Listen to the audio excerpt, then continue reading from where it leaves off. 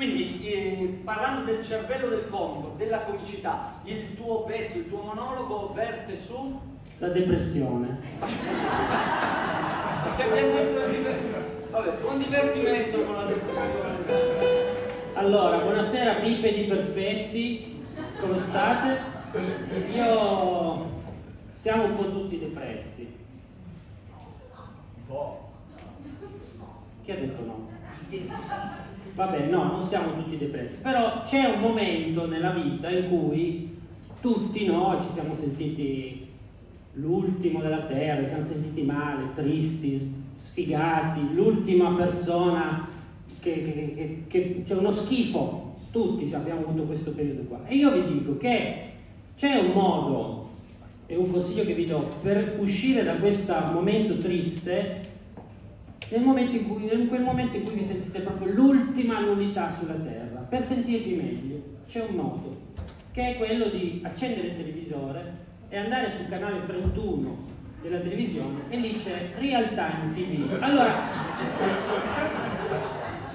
su Real Time TV, perché Real Time? Perché Real Time TV è un canale dove la gente va per o auto-umiliarsi o umiliare i propri amici e parenti a loro insaputa.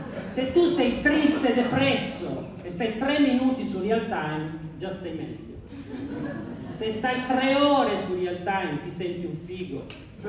Se stai tre giorni di fila su real time, il tuo ego si gonfia talmente tanto che vai in giro e dopo aver detto che lasci la politica fondi un partito che si chiama Italia Viva. Però il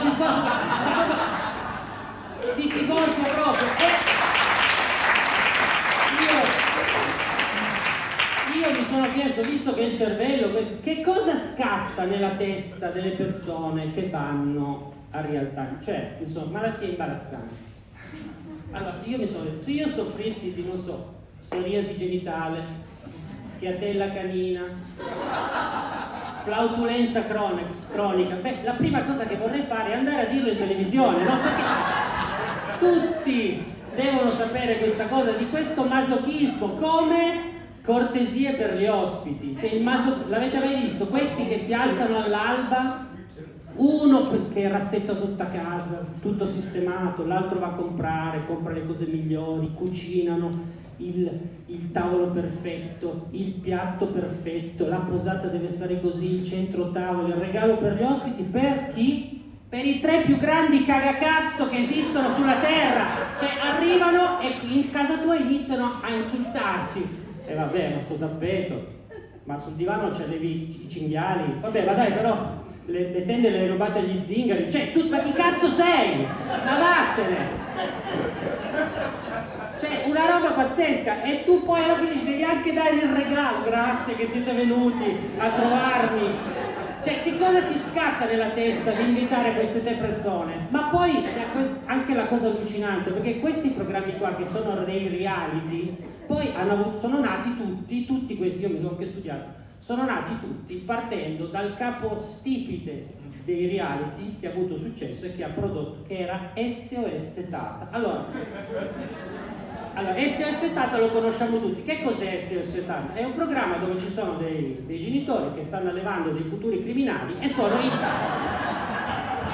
e hanno dei, dei problemi, no? Cioè non riescono a gestirli. Tutti uguali, intervista ai parenti, lei non dorme da tre anni, ok? Sexy come Anna Mazzamauro da morta, lui in tuta dal 96, cioè disperati, arriva la tata, sta con loro una settimana, eh, devi fare così, devi parlargli così, sistema le cose e poi il momento struggente, la lettera finale, con la musica, no?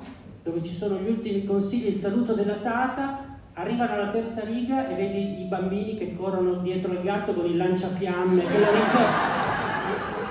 Cioè che non è servito un cazzo. E tu questi programmi qua poi hanno preso talmente piede che ce li stiamo, ce li stiamo trovando dappertutto. C'è un boss in incognito, è andato sulla RAI, no? Qual è quello che ti fa scattare? Che tu pensi, cos'è il boss in incognito? Sono degli industriali, imprenditori che si travestono da impiegati, operai e vanno a lavorare nelle proprie aziende, no? E tu quindi quello che ti fa scattare è che pensi che i tuoi impiegati sono dei coglioni. Perché scusami, tu sei in un negozio, io sono eh, capo commesso, arriva una con la parrucca di 60 anni, apprendista commessa, ma ci sarà qualcosa che non va? Cioè non ti scatta la roba che forse non è proprio...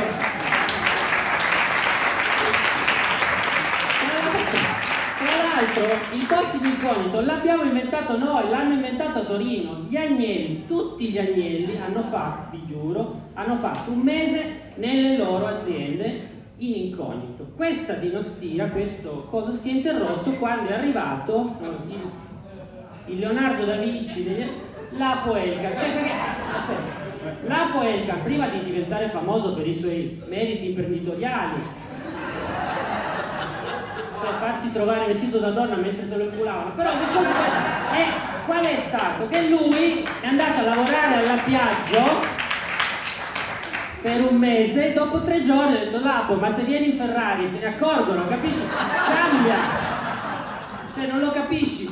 E io mi sono detto, scusate, eh, però io ho fatto questo ragionamento su, perché real time è la tv dell'amore. Perché se tu stai attento, su real time puoi far nascere e completare una storia d'amore.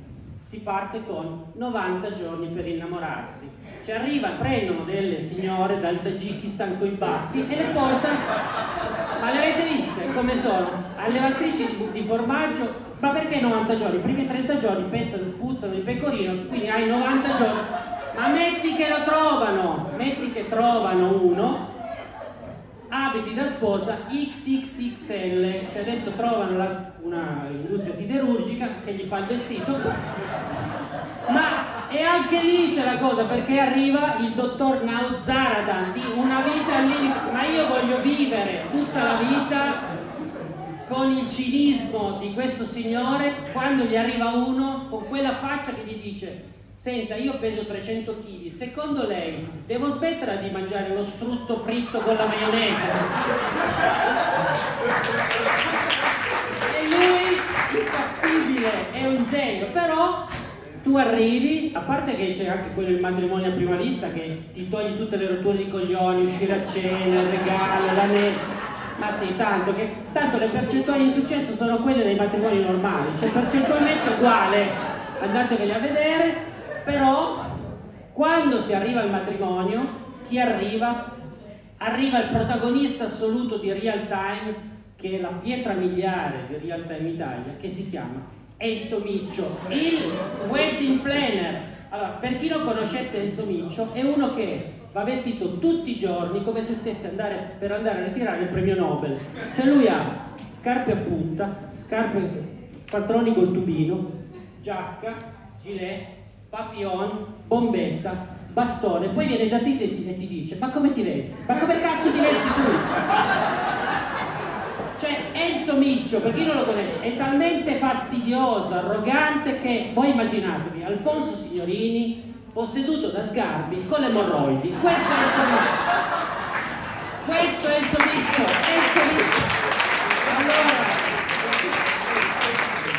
se ci ho goduto troppo che ho perso Pechino Express alla finale, perché proprio ah, voleva morire come... Però Enzo Miccio Qual è il problema? Perché se è nato il bullismo in Italia è colpa di Enzo Miccio, perché chi aveva Enzo Miccio in classe, ma come fai a non bullizzare uno così? Cioè, i primi video sono con lui, con lui con la testa nel cesso, a un certo punto, un certo punto è arrivato il preside che ha detto no scusate, e che proprio non ho resistito, che mi dà fastidio, capito? Proprio il preside è stato. Enzo Miccio è talmente fastidioso che sarebbe da prendere, da mettere nella curva del Napoli con una maglietta con dentro scritto Maradona è uno stronzo, perché così questo è il trattamento, però c'è, c'è anche altro su realtà, c'è anche tutta la parte legata, chi ama gli animali? Tutti, no? Tutti abbiamo gli animali, c'è tutta una parte dedicata agli animali, ad esempio c'è o io o il cane. No, queste storie tremende no? in cui uno delle due coppie non vuole il cane e i cani vengono mal, cioè c'è una puntata dove il cane, c'era una che non voleva il cane e allora abitavano al secondo piano. Allora questa qui le dava fastidio che il cane non aveva capito che loro erano al secondo piano e si fermava sempre al primo. E allora cosa hanno fatto? Lei gli ha preso, ma gli ha preso un collare con le scosse, giuro, per fargli, a scosse leggere, per far capire che quando si fermava al primo era sbagliato. Dopo tre mesi di scosse il cane ha capito che doveva fermarsi al secondo piano e lei cosa ha fatto? Si è trasferita al terzo! ha fatto così, ma vi giuro, c'è una roba tremenda. E poi un'altra cosa, perché non so se qualcuno l'ha visto, ma Tiger King, qualcuno ha visto Tiger King? È una, allora, perché la bellezza della natura, no? Questa è la storia di uno che si chiama Joe Exotic che ti racconta di quanto è bello vivere in mezzo alla natura, di allevare bestie feroci ed ha un enorme parco pieno di tigri, leoni e lui dice ma quanto è bello condividere con questi animali, come si sta bene con questi animali, poi incominciano a intervistare i suoi aiutanti. Non ce n'è uno che ha tutti gli arti, vi giuro, vi giuro, sto proprio bene, uno gli manca un braccio, uno senza gambe, ma come si sta bene in mezzo alla natura? Andatevelo a vedere perché così, vi giuro, poi lui cos'è? Joe Exotic come si sta bene nella serenità della natura è in carcere 22 anni per tentato omicidio, giuro, perché e chi è quella che vive, che abita di fianco, è anche lei sospettata perché suo marito un giorno è scomparso. E lei l'ha dato, c'è forte sospetto che l'abbia dato da mangiare agli animali, eh, ma vi giuro che è una storia vera, però il mio programma preferito sugli animali, sugli animali è Il mio gatto indemoniato, perché no, ragazzi, queste storie di gatti con problemi di personalità. La puntata 32, andatevela a vedere, è la storia del gatto Tosh, un gatto psicotico schizzato. I genitori vengono intervistati e lei è Purtroppo noi vorremmo invitare i nostri amici a casa, ma Tosh squarcia le giugulari a chi non conosce. Quindi cosa succede? Chi arriva a risolvere tutto? Lo, non la data, lo psicologo dei gatti. Che dove cazzo si è laureato uno psicologo dei gatti? Ma arriva lì c'era un genitore, i genitori, quindi madre, padre e la bambina, Rebecca lui arriva e fa anche finta di capirci, no? comincia a analizzare le cose, poi ho capito, prende la bambina Rebecca, ho capito, tra te e Tosh c'è un conflitto. Per risolverlo devi scrivergli una lettera.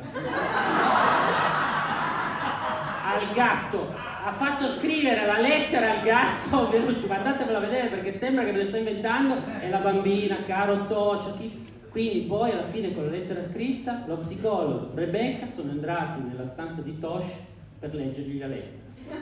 Non li hanno più visti uscire da quella stanza.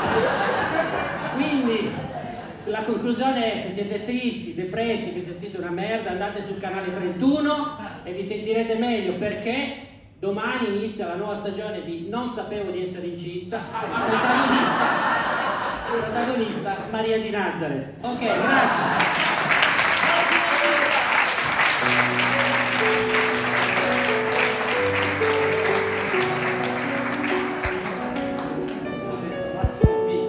Mica non c'è più.